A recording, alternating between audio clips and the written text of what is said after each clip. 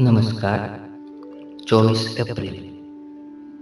આજનો દિન મહિમા. શ્રી ચાપસીભાઈ ઉદેશીની જન્મ જયંતિ સાહિત્યિક સામયિક પ્રગટ કરવાનો આતશ જેમનામાં હતો તેવા ગુજરાતના વિખ્યાત પત્રકાર ચાપસીભાઈ ઉદેશીનો જન્મ તારીખ ચોવીસમી એપ્રિલ અઢારસો બાણુંના રોજ થયો હતો. મેટ્રિકમાં નાપાસ થવાથી કલકત્તામાં સામાન્ય નોકરી સ્વીકારી લીધી પરંતુ તેમના મનમાં એક શિષ્ટ અને સાંસ્કારિક સામયિક પ્રગટ કરવાની ઝંખના હંમેશા થયા કરે. તેઓ નવચેતન સામયિકને ટકાવી રાખવા સમૃદ્ધ કરવા જ સદા સર્વદા મશગુલ રહેતા.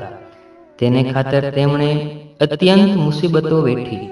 છતાં નવચેતનના ઉત્કૃષ્ટ પ્રકાશનને જીવન મંત્ર બનાવી જીવનના અંત સુધી કર્તવ્ય નિભાવ્યું. ત્રણ દાયકા સુધી કલકત્તામાંથી પ્રગટ કરીને પાછળથી ચાપસીભાઈ અમદાવાદ આવતા ત્યાંથી જ પ્રગટ થવા લાગ્યું. આવું શિષ્ટ સામે સતત ચાલતું રહે તેની પાછળ એને સાહિત્યના લગાવ સિવાય બીજું શું હોઈ શકે? ગુજરાતી રંગભૂમિ પર રજૂ કરી શકાય. તેવા પાંચેક નાટકો પણ તેમણે લખ્યા હતા. ઉપરાંત ફિલ્મ અને ક્રિકેટનો જબરો શોખ હતો. એમની બે કથાઓ પરથી ફિલ્મ પણ ઉતરી હતી.